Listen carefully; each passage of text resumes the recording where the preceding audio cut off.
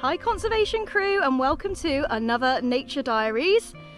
So, today's a bit of a special one the next couple of days because we have come over to Wiltshire, um, which is Dorset Way, if you didn't know, um, for a little holiday. So, we've booked ourselves a little yurt and um, I will show that to you later. But we can't check in until three o'clock, and it's currently midday. We've been typical Brits and come out at the wrong time, and it is absolutely stonking hot. But we've come to Coombe Bissett Down to have a little walk and a bit of a nature adventure before we head over to our accommodation. So join us and enjoy nature. Little update, I'm just being a moron. Apparently Wiltshire and Dorset are completely different counties. So we're in Wiltshire. Sorry.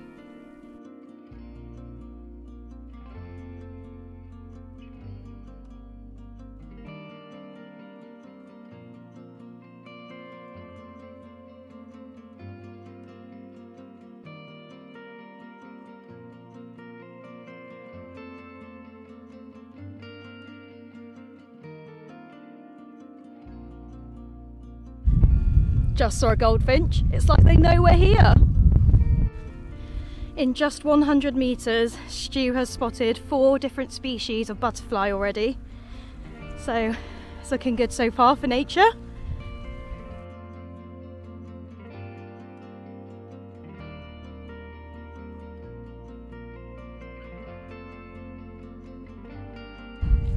It is so hot.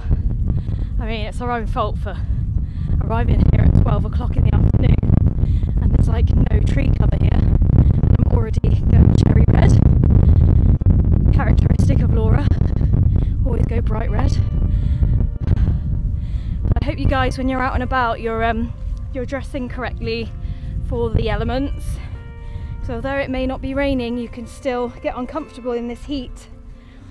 So make sure you're wearing your reef safe sun cream and your cap even like you could always take a brolly if you wanted to keep the sun off you as well. Plenty of things we can do to protect ourselves so we can enjoy nature for longer. So we're currently on land managed by Wiltshire Wildlife Trust, but it's also farmland and you can just see where the grazing animals have helped create these meadows with lots of wildflowers. Now we've already seen lots of butterflies, we've seen gatekeepers, meadow browns, small whites, red admirals, and that's just a few of them, but it's really well managed with lots and lots of wildlife.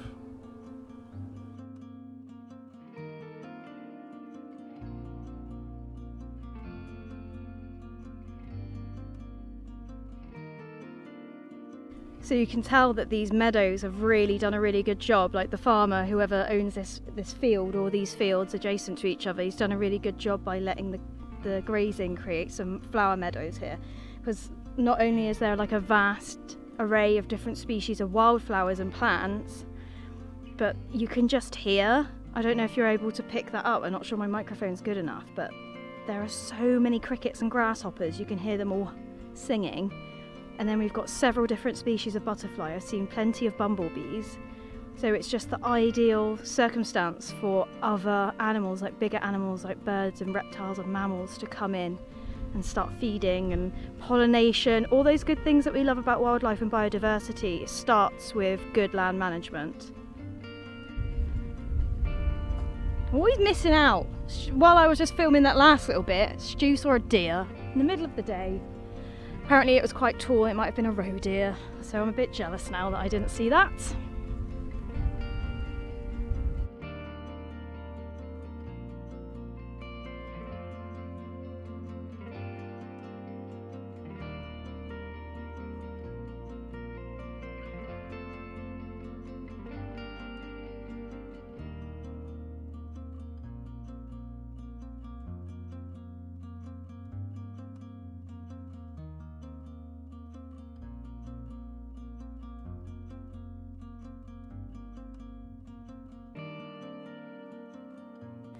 We've just come into a different field and it's really like reptile healthy here. It looks like a reptile kind of place to hang out. So Stu's automatically gone on the wild looking for adders and common lizards and things. You never know, we might find something.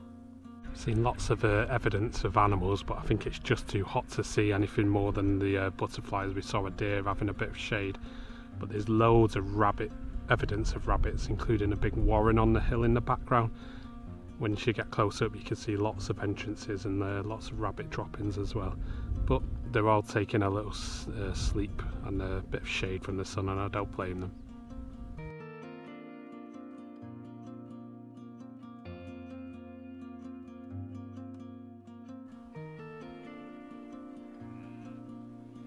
I think the sheep's a bit hot.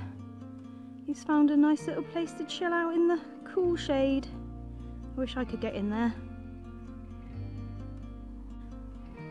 I'm not gonna lie, I'm not enjoying this walk very much, but I think it's just got to look at my face. I'm so hot. It's like there's no shade at all around this whole walk. It's just a loop, but it's all just kind of fields and meadows. So I am suffering in this heat. I mean, it's midday as well, so it's probably be a lot nicer on a cooler day. But also, I just got majorly messed up by a bramble that was on the path, and me and Stu both stood on it at the same time, but one of us picked it up and then with our feet, and then I got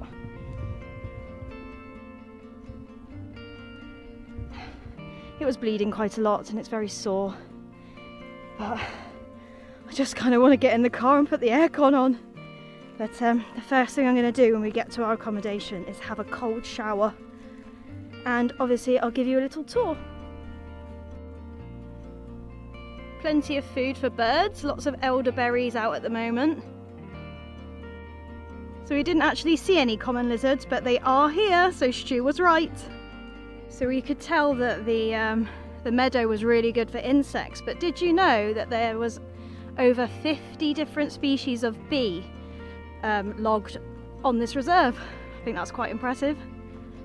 So we've arrived at our accommodation and that is our yurt. I will give you guys a tour in a bit, but it is so hot I can't even explain how hot it is here in Dorset. So we're just sat under like the only patch in this whole field, just trying to get some coolness. I've already had a shower and I'm already sweating. I really don't cope well in these in these temperatures. I'm an autumn kind of girl but I'll give you a tour later because it is gorgeous in there.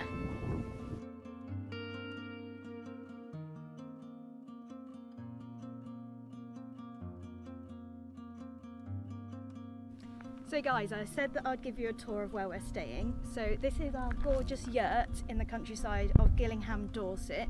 So come and have a look inside. We've got a lovely fire pit here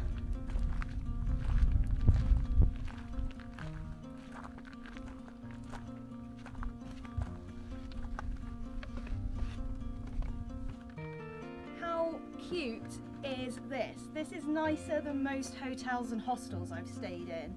Got an indoor log fire, we've got candles, we've got a really comfy bed, towels. The lady who owns this place has literally thought of everything. We've got a microwave, kettle, crockery, cutlery, lamps, even candle holders to make it really romantic. We've got a sofa, it's just so lovely and cozy and I absolutely love it. So if you want to do a bit of glamping, I definitely suggest this place. It's called A Little Peace of Dorset and Peace is spelled P-E-A-C-E. -E. And the owners are really, really lovely and you can even just camp here. So if you don't want to stay in the yurt and you want to just go wild, you can just pitch up a tent or bring a caravan along. So it's our gorgeous little yurt.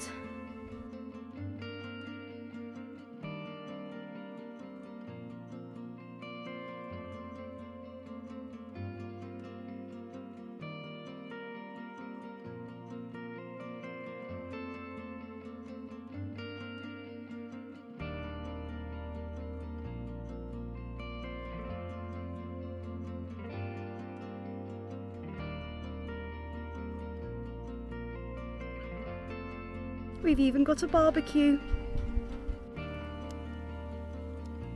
So it's been a really hot and sticky day, but I hope you really enjoyed this video and you enjoyed the yurt tour.